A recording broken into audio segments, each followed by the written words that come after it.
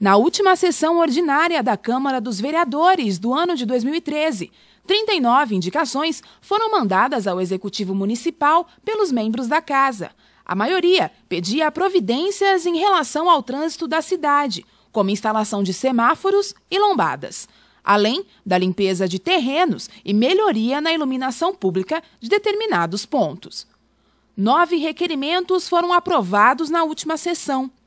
Cinco deles, de emenda individual, pedem verba para a operação Tapa Buracos na cidade de Matão. Na ordem do dia, oito projetos foram colocados na pauta por requerimentos de urgência. No total, onze foram votados na noite de sessão.